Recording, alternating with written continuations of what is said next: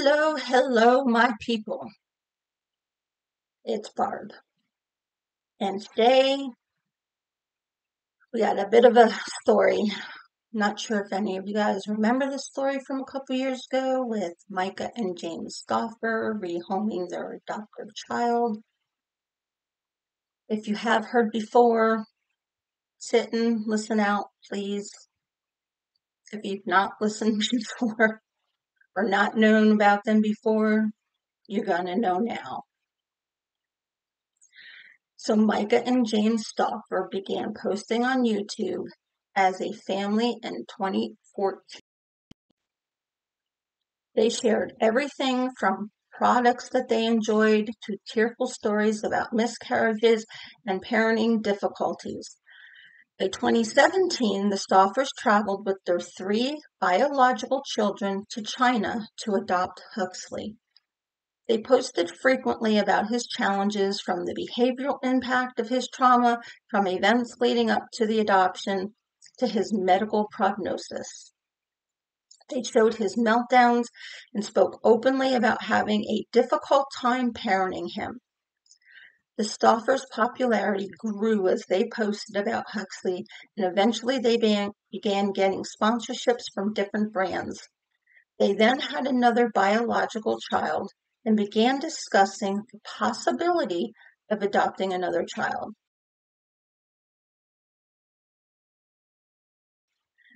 Fans scrutinized them closely and eventually noticed that in one video, Huxley's car seat seemed to have disappeared from their car. So, from many, many, many people messaging them, they then they explained what happened. But we see how brands encourage their content and how fans cheered them on.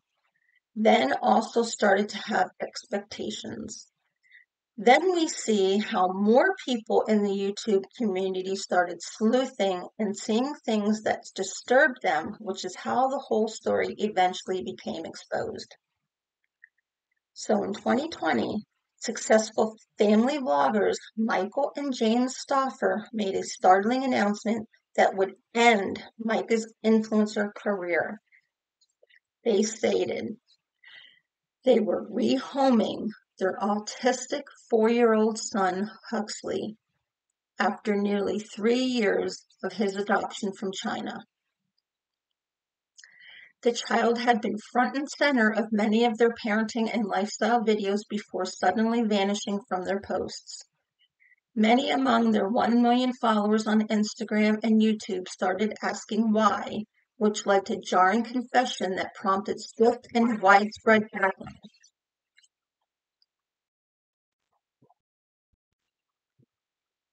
Now, four years later, they are the subject of a new three-part docu-series that is premiering at the Tribeca Film Festival.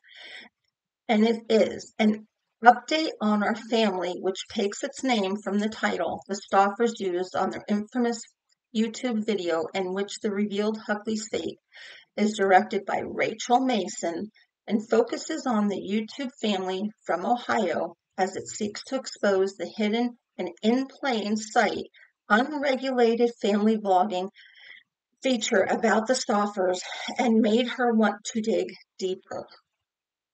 At the time, she didn't know much about family channels on YouTube, but approached the creator ecosystem with true fascination. She stated, When I started to dive in, I felt like I was an anthropologist watching an unknown species from a very far distance with binoculars. And what is most important to me was to start getting closer, and to do so, I wanted to meet the people actually operating in this world. I wanted to understand their appeal and how they maintain their audiences. To do more than just rehash a terrible situation and the critical response to it, Rachel Mason felt she needed to hear from someone who had experience with the dissolution of an adoption to be able to proper tell the story. The docu-series team spoke with a mother who posted on Reddit that she, Myka Stauffered, her child. In her post, she felt the need to write no death threats please, which I found to be one of the sadly consistent themes in general in the film. How conditioned people have become to getting the most hostile kinds of responses, Mason said. She was able to expose just how unthinkable it is for a family to grappling with that decision. Another voice Rachel found essential in explaining the Stauffer story was Hannah Cho, a YouTuber who is also a transration adoptee. Human, human Hannah Cho, a YouTuber who is also a trans transracial adopt, Hannah, a YouTuber who who articulated how the YouTube community had carefully examined their channel in the months leading up to their video and how their audience had consumed their content. She helped to explain the story with a kind of personal nuance that came from her own story. Ultimately, Rachel Mason doesn't see the project as an expose on the Stauffers or family vloggers, rather the reactionary and polarized system that currently exists on the internet. She stated, expectations for creators are really high, and I fear that we have set ourselves up collectively to become more extreme in our behavior. I hope that we find a way to become more humans through the telling of this story. In a trailer for the forthcoming documentary, fellow vloggers detailed the events leading up to Huxley's disappearance from the Stauffers YouTube channel, while experts emphasize just how much money parents can make from posting content about their channel online. The Stauffers, who also have four biological children, they had seen numerous medical professionals regarding Huxley's severe needs. I decided he had a lot more special needs that we weren't aware of Myka. In international adoption, sometimes there's unknowns and things that are not transparent on file. Once Huxley came home, there was a lot more special needs that we weren't aware of and were not told. For us, it's been really hard hearing from the medical professionals a lot of their feedback and things that have been upsetting. We've never wanted to be in this position, and we've seen we've been trying to get his needs met and help him out as much as possible him. Myka explained in the video that they believed their son needed more medical assistance, but maintained that there were. I hate this part. She states there wasn't an ounce of our body that doesn't love Huxley with all of our being. Then why couldn't you get your own help to take care of this boy? You just didn't want to put in the work. You basically ruined this child. Okay. Do I feel like a failure as a mom? said Stauffer. Yeah, like 500%, she said, before revealing that Huxley found a new forever family. With the help of the adoption agency, they found somebody that they felt would be ultimately the best fit. And he is thriving, he's very happy, and he's doing very well and his new mommy has medical professional training and it is a very good fit. At the time, the Stauffer shared the update to their nearly 1 million subscribers, more than 700,000 on the family's vlog channel, The Stauffer Life. They first announced their decision to adopt a social on social media in July 2016 when they shared a YouTube video titled Big Announcement baby number four. The Stauffers posted nearly 30 videos throughout their adoption journey, culminating in a YouTube video titled Huxley's Emotional Adoption Video. Gotcha Day, China Adoption. The video, which was posted in October 17th, had been viewed more than a million times prior to Myka permanently deleting her channel. The Stauffers used a GoFundMe page to help raise money to pay for Huxley's adoption, from China, and the couple reportedly earned a total of $800, while they said the adoption was $42,000. In another video uploaded in September 2019 titled Emotional China Adoption Two Years Home, the parenting blogger said Huxley had been in applied behavioral analysis therapy since his autism diagnosis and was doing so well.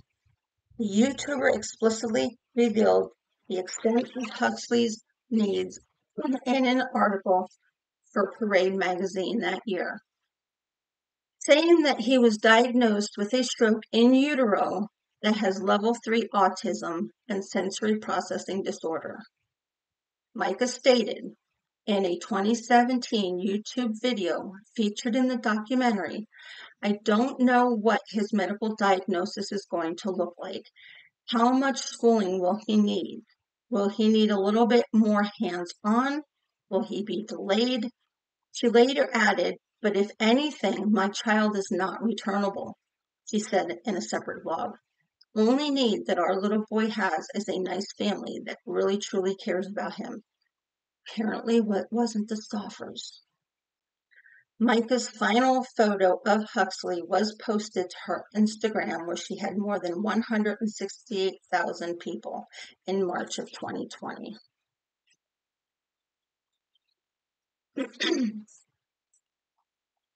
Here, wait one second.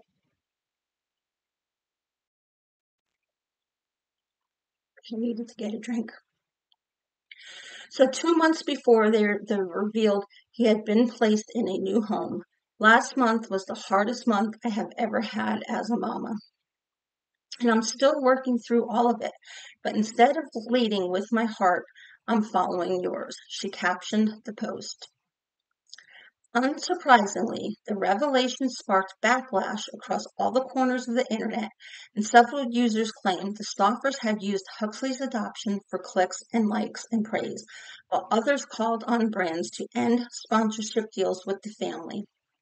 One person said, Myka Stauffer really just gave her kid away because adoption wasn't the dreamy aesthetic journey like she thought it'd be.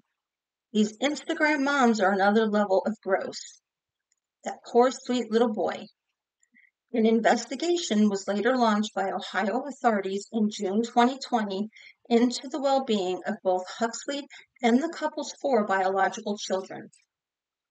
The Delaware County Sheriff's Office said it received several inquiries regarding the welfare of the then four year old. In a statement to the Independent at the time, a spokesperson for the department said, Our primary concern is for the well being of this child as well as the other children in the household. Our investigation is ongoing and will include contact with all the children to ensure their safety. All adoption cases are confidential and must go through a thorough process with a process with specific requirements and safeguards. In private adoptions, there are the same legal requirements that must be adhered to. These include home studies as well as background checks on the adopting parent, and in this case, we are confident that the appropriate process is occurring. The spokesperson also confirmed that Huxley was not missing and that both parties are being represented by attorneys to ensure full compliance with the court process. According to attorneys for the Stauffers, the process of finding a new home for Huxley did not include any considerations for placement at the foster system, but rather to hand select a family who is equipped to handle Huxley's needs.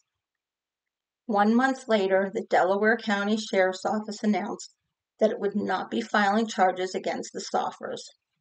In the lengthy Instagram post shared in June 2020, Myka addressed the widespread backlash and apologized for all of the hurt she caused her fans and followers. This decision has caused so many people heartbreak, and I'm sorry for letting down so many women that looked up to me as a mother, she stated. I'm sorry for the confusion and pain I have caused, and I'm sorry for not being able to tell more of my story from the beginning. I could have never anticipated the incidents which occurred on a private level to ever have happened, and I was trying my best to navigate the hardest thing I have ever been through in my life. Myka continued acknowledging that she was not selective or fully equipped or prepared when she started the adoption process, and that she needed more training. I can't say I wish this never happened because I'm still so glad Huxley is here, getting all of the help he needs. I also know that even though he is happier in his new home and doing better, that he still experienced trauma. I'm sorry no adoptee deserves any more trauma.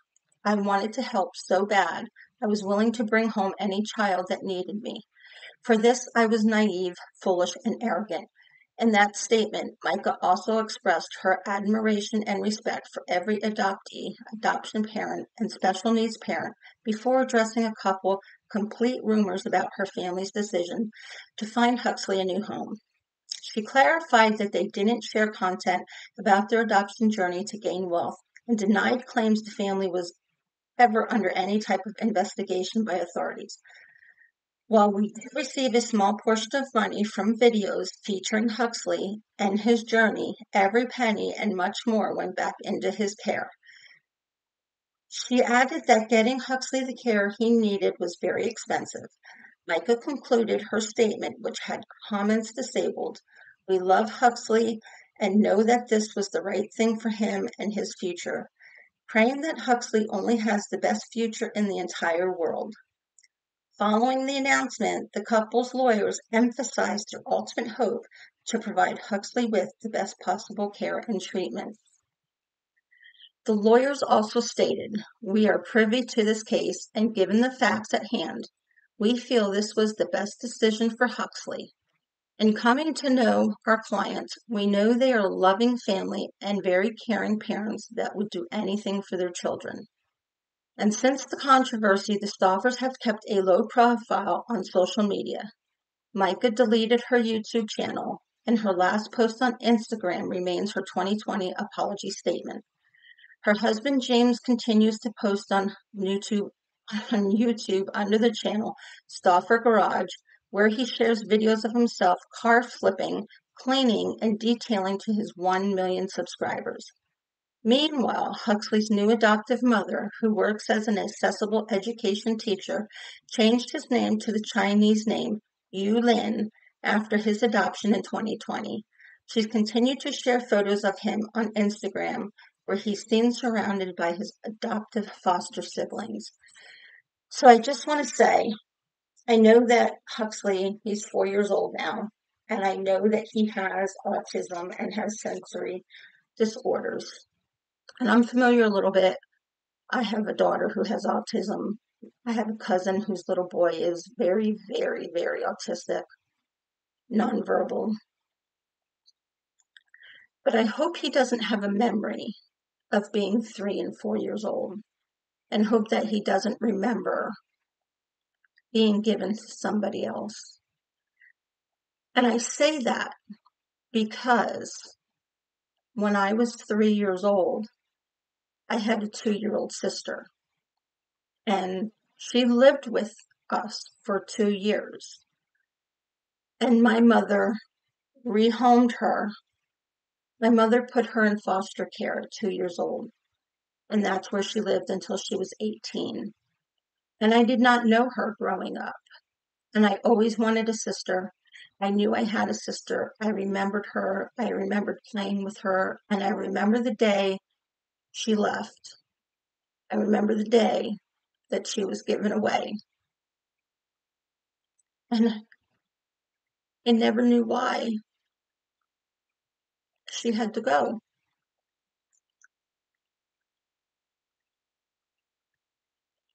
So, anyway, I don't wish that on anybody. And I hope Huxley doesn't have any memory of it whatsoever. So that's all I have to say today, guys. If you have any questions or comments, please leave them down below. I'd really appreciate it. Hit that like button and please consider subscribing to my channel as I am trying to let it grow. And I appreciate you stopping by. Peace. Until next time.